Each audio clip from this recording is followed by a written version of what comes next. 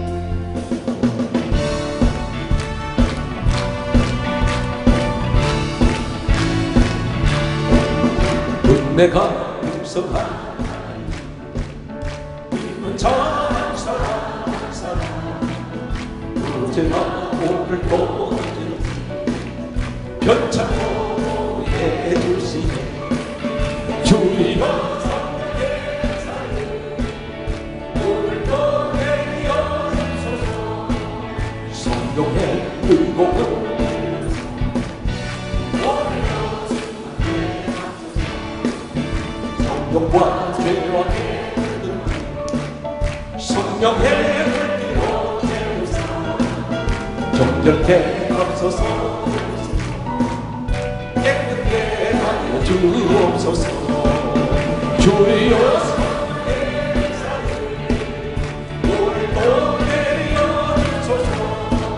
성령의 불길로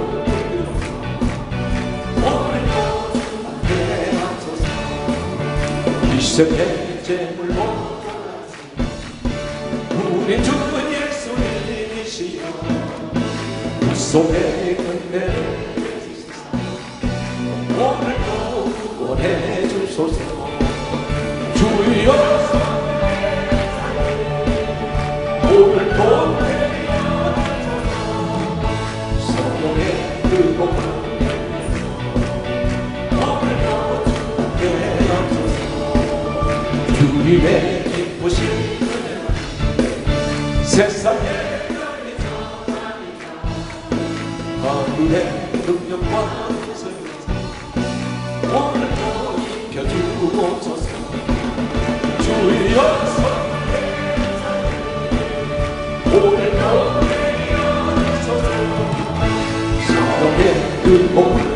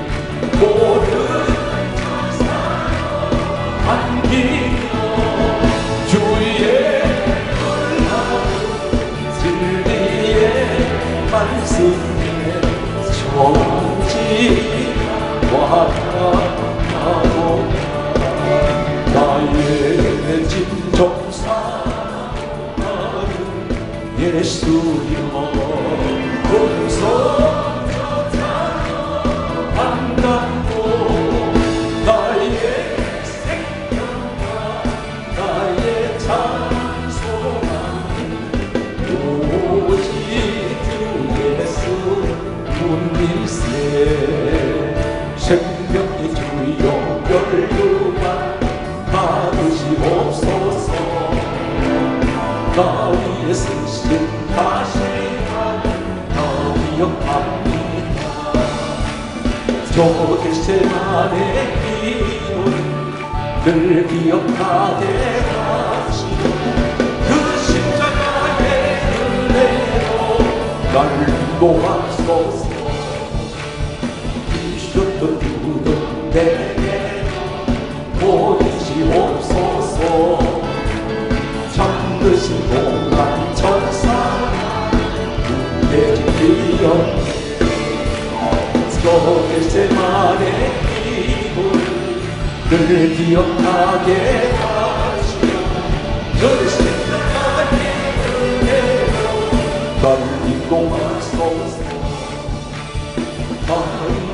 는 새벽에 주께로 옵니다 빈무던 내게 보이사 날 가르치소 서 저게세만의 기도를 늘 기억하게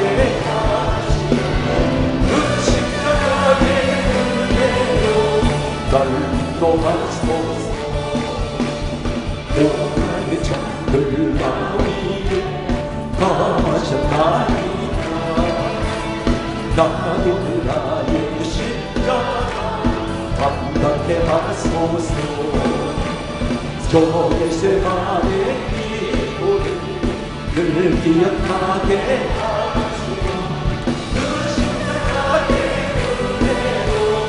나를 인도하소서 주를 받고 앉아 올라가 목소리 같이 모든 사람이 시커져서 올라가 올라가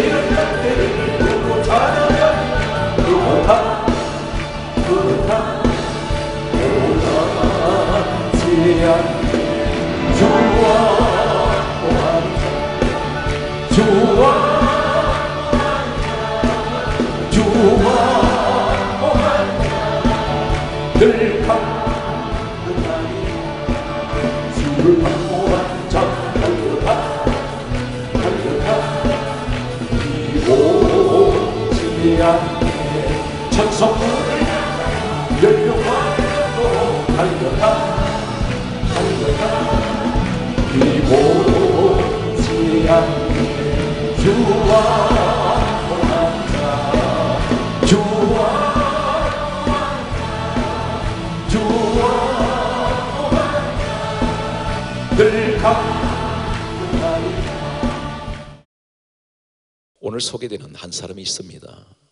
이 사람은 전혀 예기치 못했던 뜻밖의 인물이 엘리야의 후계자가 됩니다. 엘리야는 선지자입니다. 하나님께서 크게 서셨던 이 엘리야는 그의 사역 가운데 수많은 화려한 기적과 능력을 행했던 그러한 사람이 엘리야였는데 이 사람은 어떤 사람이냐면 우리가 한두 번 아마 교회 생활하시면서 말씀을 들으신 분들 가운데는 엘리야의 내용에 대해서 들은 적이 있을 것입니다. 엘리야 이야기 가운데 가장 많이 사용되는 화제거리 이야기는 갈멜산에 3년 6개월 동안 비가 내리지 않던 이스라엘 땅에 엘리야 한 사람으로 인해서 비가 내렸던 이 사건 많이 강조하고 있습니다. 그런데 이 엘리야는 성경 말씀을 보게 되면 야고보서 5장 17절에는 이 엘리야를 가리켜서 기도의 사람이라고 했습니다. 그가 간절하게 기도했을 때 하늘을 닫기도 하고 하늘을 열기도 했습니다. 하늘을 닫고 여는 이는 누구이십니까? 하나님이십니다. 하나님이 지상에 있는 이 엘리야의 기도를 들으시면서 얼마나 이 엘리야의 기도가 하나님께서 귀하게 받으셨는지 하늘을 닫아주세요 하면 닫아버리시고 열어주세요 하면 열어주셨던 바로 그 장본인이 엘리야였습니다. 이 사람은 갈멜산에서 하늘에서 비를 내리겠고 불을 내리겠고 그리고 450명 우상 숭배하는 자들을 이겼던 자들 그 이긴 사람이 바로 이 엘리야였습니다. 이런 가공할 능력을 행했던 엘리야가 바로 열왕상 18장 사건이 갈멜 사건이 끝나면서 바로 19장이 들어오면서 한 장 차이에 이 사람 모습이 완전히 돌변하는 모습을 보게 됩니다. 열왕기상 19장 1절에 보게 되면 1절과 4절 사이에 특별히 그 열왕상 19장 1절에 보게 되면 그 당시에 이스라엘을 지배하고 통치하던 왕이 한 사람이 있었는데 아합이라는 역사의 인물이 있습니다. 이 사람에게는 이방 민족의 아내가 한 사람이 있었습니다. 그 이름은 이세벨입니다. 이 여자는 우상을 섬기는 여자였습니다. 하나님만 섬기던 거룩한 땅, 이 유대 땅에 그가 시집을 오면서 가지고 들어온 것이 자신이 섬기던 바알신 아시라 신상을 가지고 들어왔습니다. 그래서 사방에다가 석상을 세웠고 돌 조각을 깎아서 만든 석상 그리고 목상을 또 세웠습니다. 나무로 조각한 것들 그리고 그것을 섬기도록 강요를 했습니다. 이 사건으로 인해서 이 이세벨은 엘리야를 철천지 원수로 여겼습니다. 하나님만 섬기는 이 엘리야를 사람을 보냅니다. 그래서 열왕상 19장 1절에 사람을 보내서 엘리야에게 하는 말이 내가 너를 반드시 죽인다고 했습니다. 이 말을 들었던 엘리야는 도망을 가게 됩니다.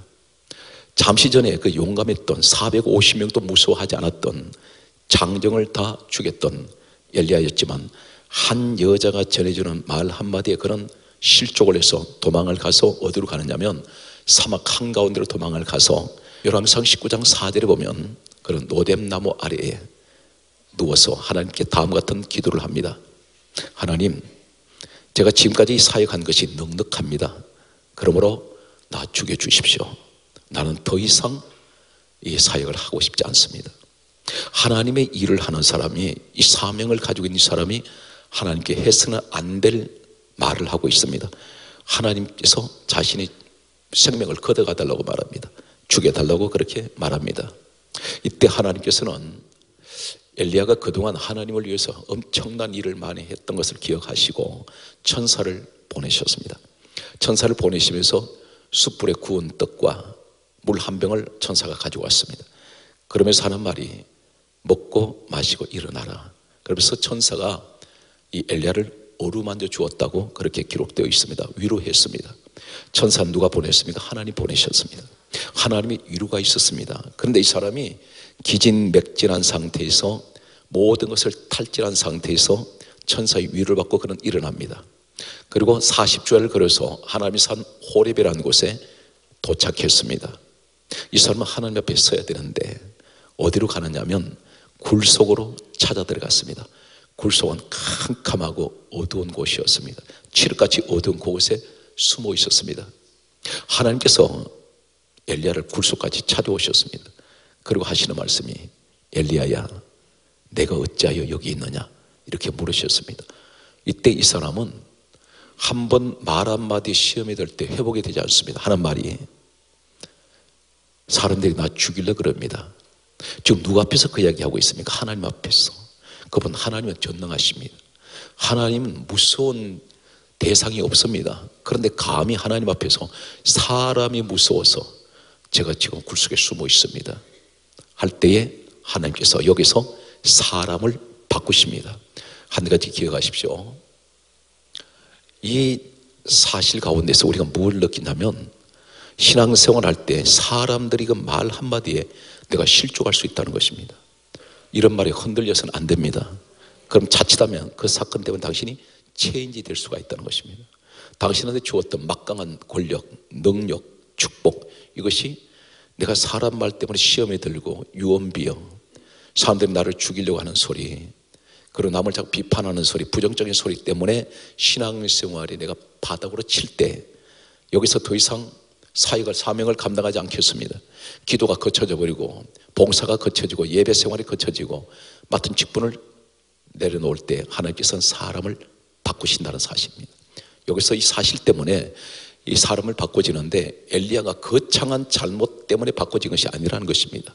사람을 무서워할 때 이것은 곧 환경을 무서워하면 하나님 앞에서 내가 환경이 너무 무섭습니다 할 때 하나님 보실 때 너 안 되겠구나. 내가 사람 바꿔야 되겠다.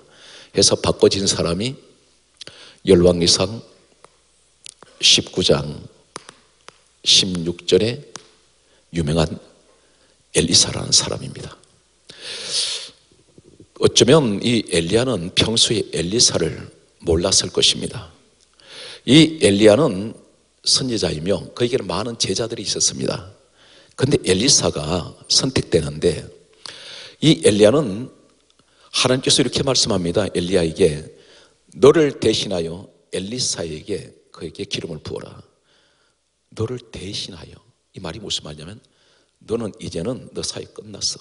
대신에 내가 다른 사람 세운다. 너 자리에 세우겠다는 것입니다. 한 가지 우린 기억하십시오. 내가 이 직분을 감당하지 않을 때 반드시 하나님 사람을 준비하고 있다는 사실입니다. 나 아니면 안 돼. 절대 오만 불손한 교만한 말을 해서는 안 됩니다. 나 아니더라도 하나님 얼마든지 사람을 대기시켜 놓고 있다는 사실입니다. 모세 옆에 요수아가 있었습니다. 엘리야 옆에 엘리사가 있는 줄 몰랐습니다.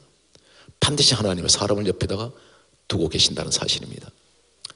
오늘 여기에서 이 엘리사를 찾아갔더니 이 엘리사가 어떤 사람이냐면 아마 엘리야 깜짝 놀랐는지 모르겠습니다. 이 사람은 아무것도 준비된 사람이 아니라는 사실입니다.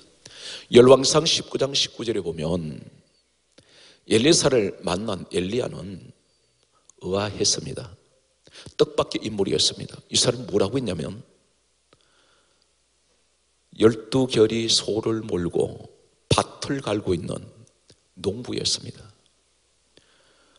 이 엘리사는 자신이 선택되는 것도 몰랐습니다. 잠시 일촉 앞에도 자신에게 그런 뜻밖의 일이 일어날 줄 몰랐을 것입니다. 그런데 농사꾼을 하나님이 지명을 하십니다. 오늘 이 사실을 현실로 옮겨오면 하나님 준비된 사람들이 있는데 하나님이 내 가정 일을 가사 일을 하고 있는 나를 어느 날 가장 연약한 한 여인이며 한 가정의 아내인 그리고 자녀의 어머니 되는 그 사람을 하나님 지명하셔서 내가 너를 써야 되겠다는 것입니다. 또 한 가정의 남편이 되며 가장이며 직장 생활하는 어느 날 나를 불러내셔가지고 뜻밖의 준비된 사람들 다 제쳐놓으시고 나를 지명하더라는 사실입니다. 이 사실이 무슨 내용일까요? 이 당시에 이 엘리야에게는 준비된 제자들이 있었습니다. 열왕기하 2장 3절에 보면 베델이라는 곳이 있습니다. 이 베델에 성경 강조합니다. 선지자들의 제자들이 있었습니다. 선지자의 제자들. 이 사람들은 준비된 사람들입니다. 선지자 주의 종. 이 제자들은 곧 주의 종 자리에 세워질 사람들입니다. 그런데 이 사람들은 누구냐면 교회 지도자들을 말합니다. 이 사람들은 오랫동안 준비를 하고 있는 사람들입니다. 언제든지 이 사람들은 바로 현장에 투입할 수가 있습니다. 그런데 하나님 이 사람들을 안 쓰세요. 왜 그럴까요? 계속해서 말씀 보게 되면 열왕기하 2장 5절에 보게 되면 여리고라는 곳이 있습니다. 여리고에 왔더니 여기에도 선지자 제자들이 있었습니다. 제자들이라고 말씀하고 있습니다. 복수를 사용합니다. 몇 명인지 모르지만 많은 사람들이 사방에 곳곳에 포진하고 있습니다. 그런데 하나님은 이 사람들을 제쳐놓으시고 아무 준비도 안 된 어쩌면 가장 무능한 사람이라고 할 수 있는 농사 짓는 일밖에 모르는 이 사람을 하나님이 선택하셨어요.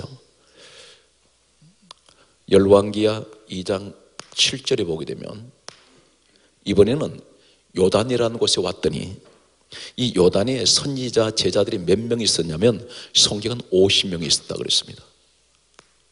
50명. 그런데 이 많은 사람들을 다 하나님께서는 관심이 없으시고 엉뚱한 엘리사를 불러내셔 가지고 엘리야 후계자로 세우세요. 이 사람 능력 없습니다. 이 사람 아무것도 준비된 것이 없어요. 그러나 성경 뭘 말씀합니까?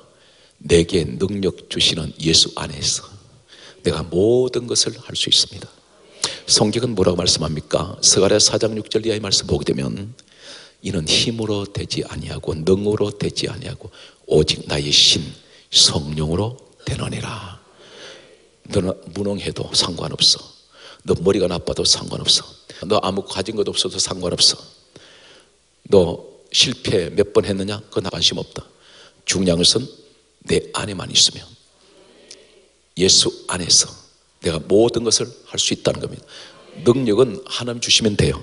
지혜도 하나님 주시면 돼. 문제는 내가 어떤 위치에 서 있느냐가 중요합니다. 오늘 여기에서 하나님께서 이 엘리사를 왜 서셨을까? 세 가지 독특한 이 엘리사가 가지고 있는 장점이 있습니다. 오늘 이 장점은 누구나 다 가질 수가 있습니다. 그런데 우리는 때로는 오늘 엘리사에게 하나님께서 찾으시는 하나님이 원하시는 것을 우리가 무시해 버려요. 대신에 어떻게 합니까? 세상적으로 실력만 기르려고 합니다. 예를 들면 아이를 공부시키는 데만 혈안이 되어 있습니다.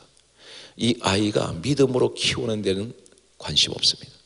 아이가 기도하는 것도 어머니, 아버지는 별 관심 없습니다. 무조건 한국의 이 교육은 어떤 교육이냐 한마디로 말하면 주입식입니다. 전부 머리에다 집어넣는 겁니다. 그러다 보니까 이 아이는 어떤 한계점에 부딪히게 됩니다. 절대 창의력이 생기지 않습니다. 이 사람이 왜 선택되었을까? 첫째는 대단히 중요한 말씀을 하고 있습니다. 이 사람이 하나님께 선택되었을 때에 열왕기상 19장 21절 말씀을 보게 되면 이 사람이 첫 번째 나타나는 한 가지 엘리사가 가지고 있는 독특한 한 가지 모습을 보게 됩니다. 엘리사는 하나님께서 선택했습니다. 엘리사는 하나님께서 구별하셨습니다. 엘리사는 하나님이 지명하셨습니다. 지금 이 말씀이 엘리사에게만 해당될까요? 신약에 와서 에베소서 1장 4절은 창세전에 누구든지 그리스도 예수 안에서 있는 자는 하나님이 택하시기로 예정되어 있습니다. 우린 그리스도 안에 있습니다. 나 택함 받았습니다. 엘리사 택함 받았습니다. 나도 택함 받았습니다. 엘리사 지명 받았습니다. 나도 지명 받았습니다. 엘리사 구별되었습니다. 나도 구별된 사람이에요. 그렇다면 똑같은 위치에 지금 서 있습니다. 엘리사 아무것도 없습니다. 그런데 우리도 때로는 엘리사의 모습일 수가 있습니다. 그때에 이 엘리사는 하나님의 부르심을 받는 순간 이 사람은 어떻게 하냐면 여로왕기상 19장 21절 말씀 보게 되면 소의 기구를 불살라 태워버립니다. 이 소의 기구가 무엇입니까? 잠시 전까지만 해도 12결이 소, 성경 12결이 되어 있는데 한 결이는 참고로 말씀드리면 두 마리를 말합니다. 합하면 12결이는 이 24마리 소를 말하고 있습니다. 이 소 앞세워서 밭 깔고 있었습니다. 밭 가는 기구가 있습니다. 연장들이 있습니다. 이것을 이 사람이 불태워버립니다. 왜 불태울까요? 그리고 소를 두 마리를 잡아서 이 소는 어떤 소입니까? 아까 밭 깔던 소들입니다. 근데 소를 잡아서 백성들에게 고기를 나눠 주어서 먹게 하며 잔치를 했습니다. 소의 기구를 불살랐다는 것은 나는 이제 잠시 전까지 하나님의 부르심 받기 전에 내 모습은 아닙니다. 나는 이제 하나님의 부르심을 받았기 때문에 나는 더 이상 과거로 돌아가지 않습니다. 모든 것을 정리하겠다는 것입니다. 불을 태워버린 것은 다시는 그 일을 하지 않겠다는 것입니다. 우리 모습이 어떤가요? 주님의 부르심을 우리는 분명히 받았습니다. 지금 교회 생활하고 있습니다. 그런데 우리는 과거의 모습을 그대로 가지고 있다는 사실입니다. 옛생활로 자꾸 돌아가려고 합니다. 그런데 엘리사는 옛생활을 청산합니다.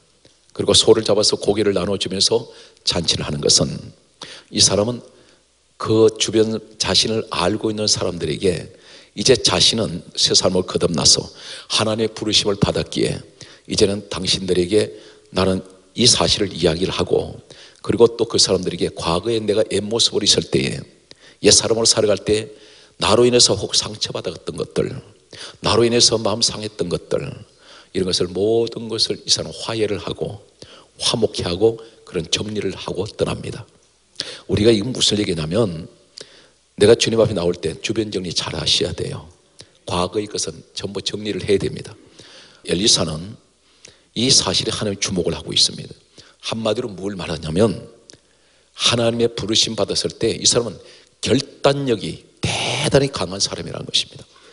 반드시 하나님 부르심 받을 이 사람은 반드시 자를 건 잘라버리고 끊을 것은 끊어버리는 대단히 결단성이 강한 사람이라는 사실입니다. 하나님이 이 사람을 그렇게 귀하게 보셨던 이유는 우리 모습을 보면서 그렇게 쉽지가 않다는 것입니다. 세상 줄을 그렇게 쉽게 끊을 수가 없습니다. 옛사람 관계를 끊어낼 수가 없습니다. 우리가 조금만 은혜가 떨어지면 세상을 기웃거립니다. 그런데 엘리사는 이 사실을 가장 먼저 하나님이 주목을 합니다. 오늘 이 사실에 대해서 뒤를 돌아보는 자들 따랐어요. 지나간 옛날 일을 돌아보지 말자. 성경을 기록을 하겠습니다. 누가복음 17장 31절 말씀을 보면 다음 같은 말씀을 하고 있습니다. 밭에 있는 자는 뒤로 돌이키지 말지어다. 이 밭은 일하는 곳입니다. 다시 말해서 부름받은 사람, 이 밭은 복음적으로 또 교회를 의미하기도 합니다. 교회에서 네가 부름받고 하나님 일을 하는 사람이 너는 하나님께 선택된 사람은 뒤로 돌이키지 말라는 것, 뒤로 돌아서지 마라. 이해가 되세요? 이 사실에서 계속해서 누가복음 17장 32절에는 바로 예서 하는 말씀이 아마 여러분 이해가 될 것입니다. 따라서요. 로세처를 생각하라. 예수님이 그랬어요. 노세처를 생각하라. 로세처가 누구입니까? 바로 구약 시대에 하나님이 소돔성을 유황불로 태우실 때 죄악의 도시입니다. 완전히 잿더미를 만드실 때 여기서 천사의 도움으로 구원받고 나온 사람 가운데 로세처가 있었습니다. 나오다가 중도에 돌아봅니다. 이 사건은 창세기 19장 26절 말씀에 소개되고 있습니다. 로세처가 뒤를 돌아본 거로 소금 기둥이 되었더라. 무엇을 지금 주님 말씀합니까? 너 뒤돌아보지 마라. 너는 일단 하나님 앞에 넌 부르심 받고 나왔으니 너는 이제 세상 사람이 아니고 옛 사람이 아니야. 너는 이제 새 사람으로 입었으니 너는 나 앞에 나왔으니 과거를 자꾸 기웃거리거나 돌아보지 마라.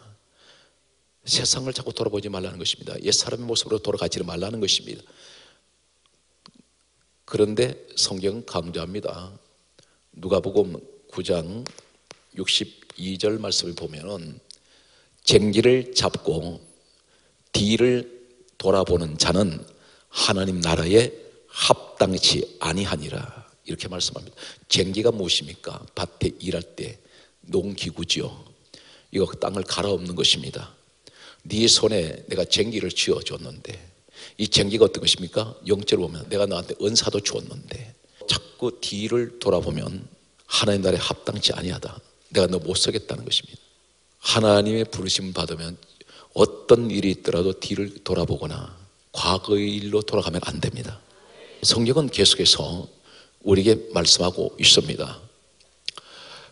출애굽기 3장 5절과 여호수아 5장 15절 그리고 로마서 6장 6절 고린도전서 2장 14절 에베소서 4장 22절 이 내용 가운데 보게 되면 출애굽기 3장 5절은 하나님께서 모세를 80세 때 찾아오셨습니다.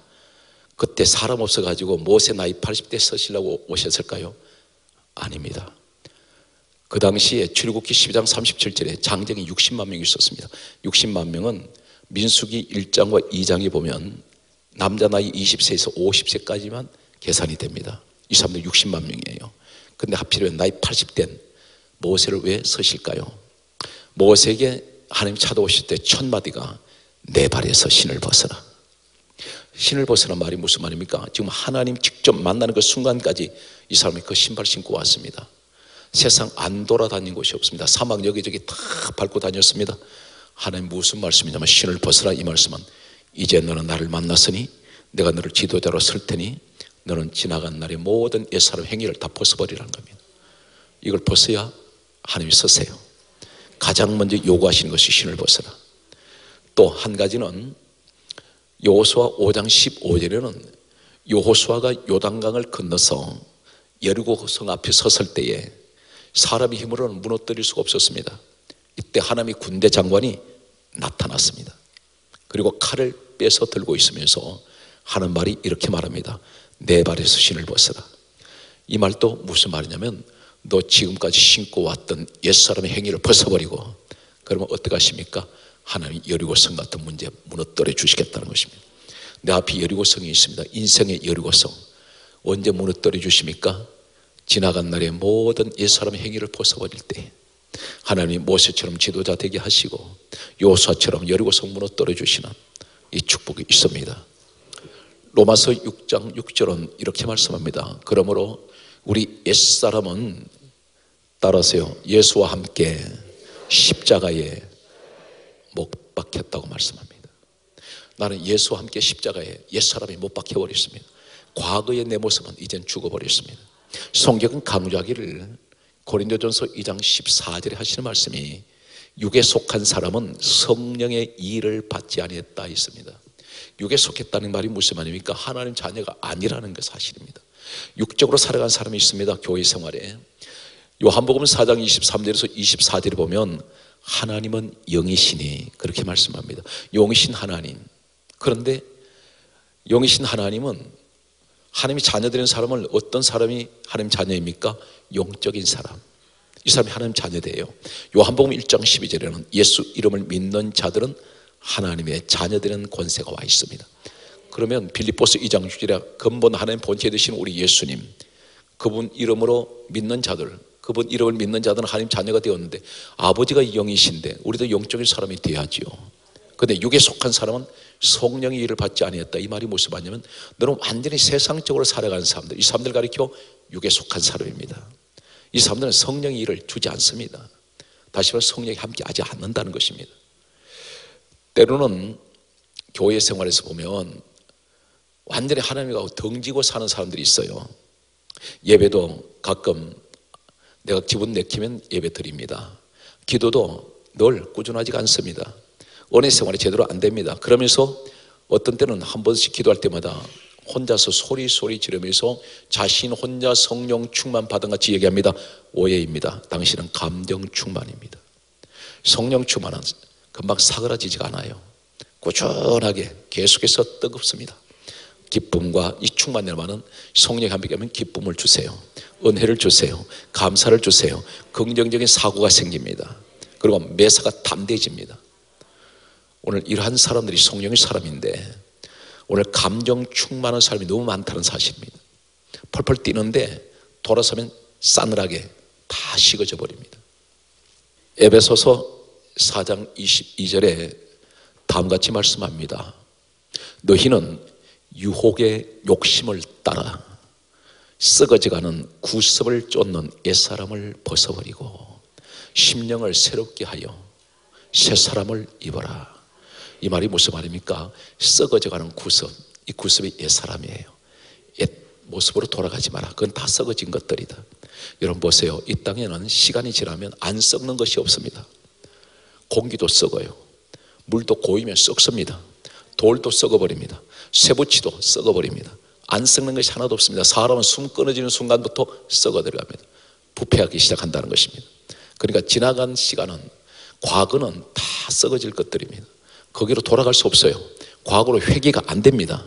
우리대로 전전해야 됩니까? 앞을 보고 우리 나아가야 합니다. 성경은 계속해서 우리에게 계속해서 말씀합니다. 여기까지 말씀을 보면은 엘리사는 첫째는 어떤 사람이었느냐? 어떤 일을 결단을 하면 과감하게 끊어버리고 모든 것을 이 사람은 청산하고 반드시 하나님의 부르심을 내가 받았으니 이제 그 일만 보고 나가는 사람입니다. 여러분 한 가지 꼭 기억하세요.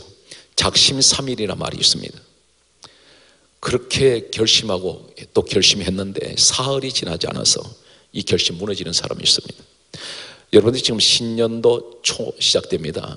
새 벽두에 어떤 목표를 설정을 했으면 그 목표를 이룰 때까지 결코 포기하지 마십시오.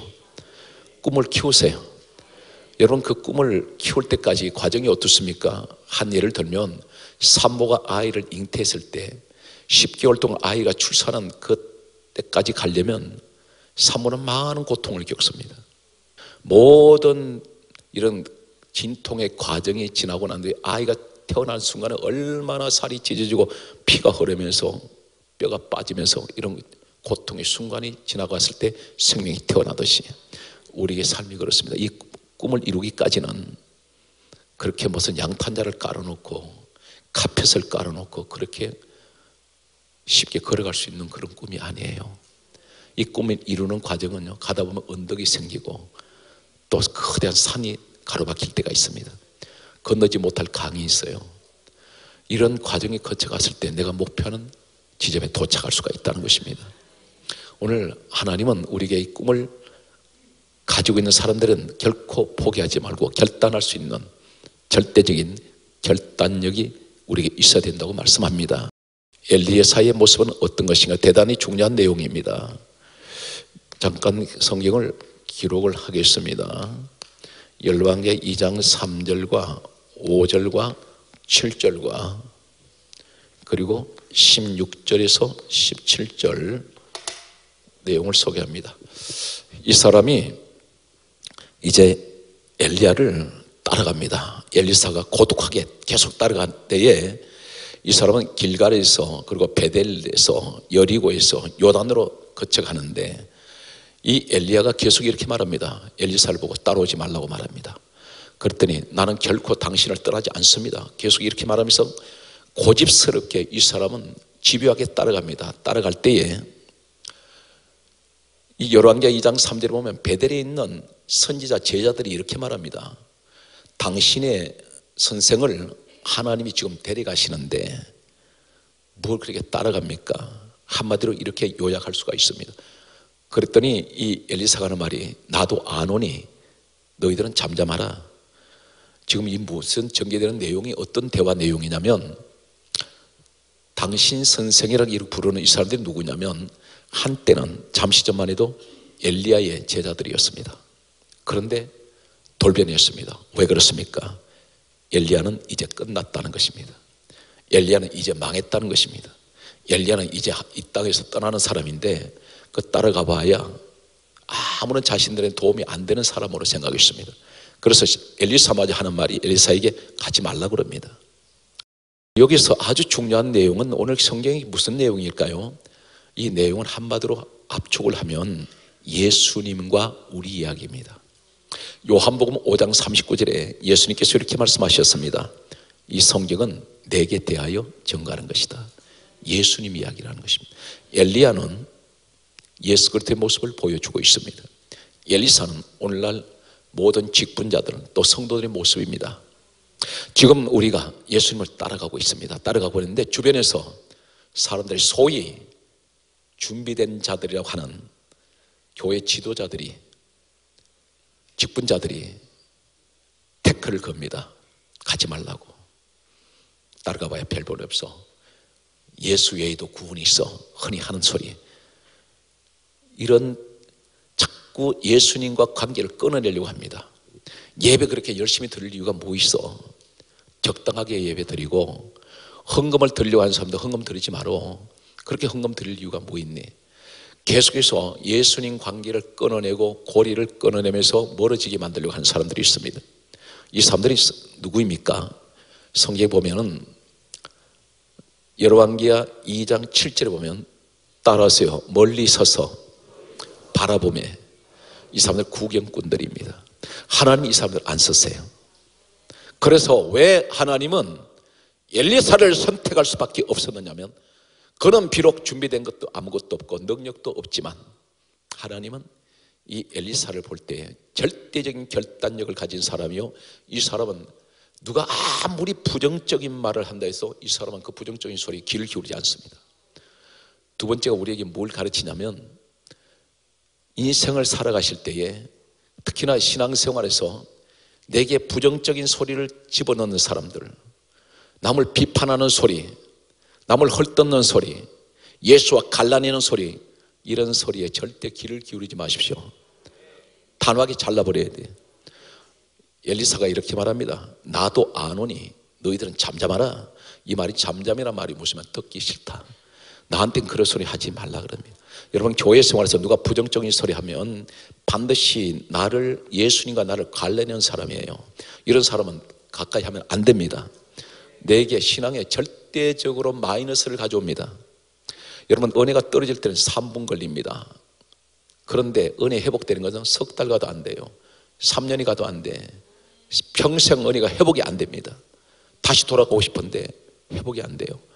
오늘 그리고 여러분들이 나는 저 사람하고 아무 이해 관계가 없는데 제 3자가 나한테 저 사람 나쁜 사람이라고 한마디 그 귀에다 속삭이는 것말 한마디 때문에 그 다음부터 그 사람을 보세요.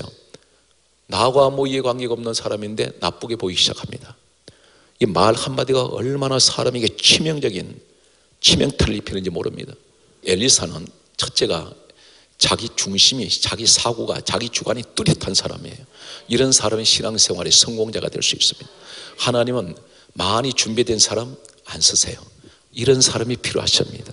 하나님께서는 이런데 중요한 것은 16절에서 17절에 아주 재미있는 이야기가 소개되고 있습니다. 그리고 때로는 기가 막힐 이야기일 수가 있습니다. 엘리야가 이제 이 사람들 보는 앞에서 회오리 바람을 타고 하늘에서 내려온 불말과 불수리로 올라갑니다. 그런데 이 50명이 있어요. 50명이 엘리사에게 와가지고 하는 말이 엘리야를 찾으러 가자고 말합니다. 무슨 말이냐면 그들이 지금 하늘로 엘리야 올라간 걸 보았습니다. 그러고도 하는 말이 엘리야를 찾으러 가자 그래요. 왜 그러냐 했더니 하나님 성령이 엘리야를 회오리 바람으로 들어 올려서 지금 하늘로 데려가다가 성령 하나님께서 저 어느 산이나 산골짜기에 내던져 버렸다는 것입니다. 집어 던져 버렸다는 것입니다. 그러면서 찾으러 가자 그래요. 그러니 엘리사가 하는 말이 가지 마라 말합니다.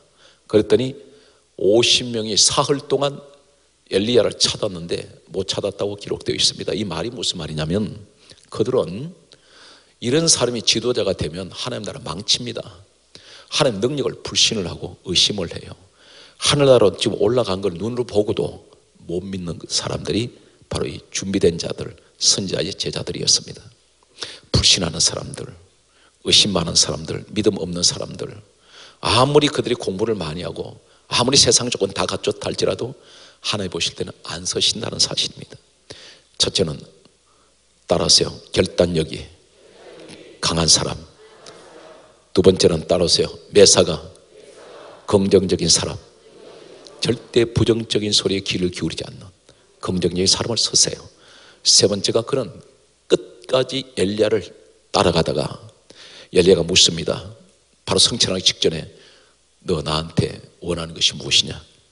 갑절의 능력이 내게 있기를 원합니다. 네가 참으로 어려운 것을 구하는도다.